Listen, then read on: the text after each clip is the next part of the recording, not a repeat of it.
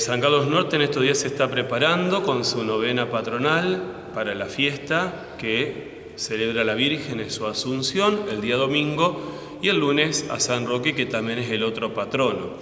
Las dos celebraciones van a ser a las 10 y media de la mañana, ya que el lunes, bueno, feriado, por el traslado del feriado del 17, y principalmente, bueno, el día domingo tenemos la procesión y la Santa Misa a las 10 y media de la mañana, con, con el protocolo que ya sabemos, el barbijo, el distanciamiento, y a su vez también eh, la bendición que daremos en ese día para toda la comunidad, pidiendo especialmente por el aumento de la fe en la comunidad de San Carlos Norte.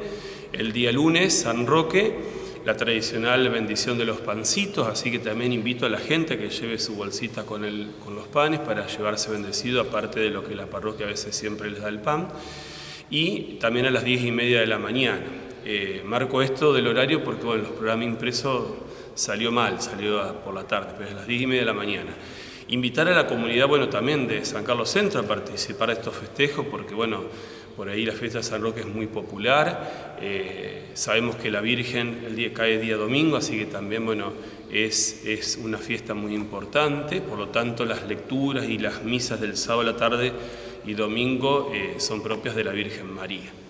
Padre, hablábamos fuera del micrófono también acerca de un beneficio muy importante que están lanzando desde la parroquia, si quiere comentarlo a la comunidad. Sí, aquí en San Carlos eh, Centro vamos a hacer otro beneficio para, bueno, continuando con el mantenimiento de los gastos propios, de los arreglos, de todas las cosas que hay que bueno, ir haciendo de a poco en salones, casa parroquial, etcétera, de bueno, lo que hemos hecho el año pasado, los combos de los tallarines, de los dos paquetes de tallarines secos de Juan Pueblito, con los sobrecitos de queso. El combo va a salir 250 pesos, eh, bueno, van a estar ya a la venta por, por los, los distintos grupos parroquiales, en secretaría también. Eh, hasta el 7 de diciembre, de septiembre será la venta, hasta el 7 de septiembre, bueno, y en esos días después se, hará la, la, entrega. Así que bueno, eso también para tenerlo en cuenta aquí en San Carlos Centro. ¿Le parece si hacemos la reflexión de este fin de semana? Bien, un poquito quiero antes de la reflexión eh, recordar aquí a San Carlos Centro que bueno, misa este fin de semana tendrán el sábado y el domingo a las 19 horas, domingo a la mañana no hay porque nos abocamos a San Carlos Norte a las diez y media, para que sepan que no hay misa en la capilla San José Obrero.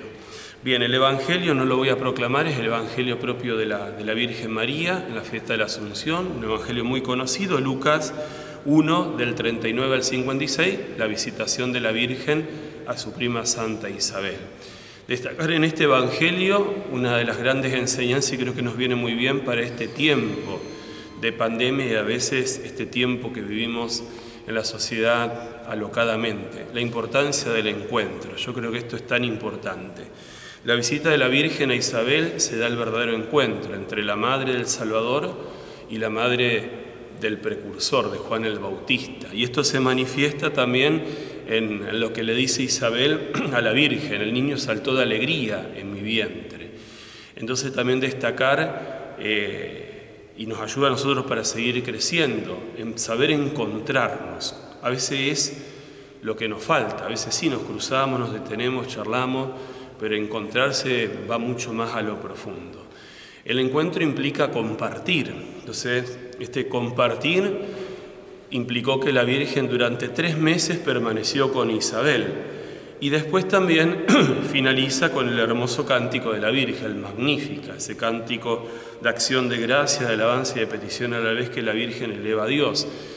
A la luz del magnífica de la Virgen nosotros podemos hacer como oración también nuestro propio magnífica. Y bueno, y aunque a veces eh, caminemos entre problemas, angustia, eh, no dejemos de contemplar a la Virgen María, a la Madre, ella que brilla en el cielo como signo de esperanza y que nos alienta para que sigamos adelante.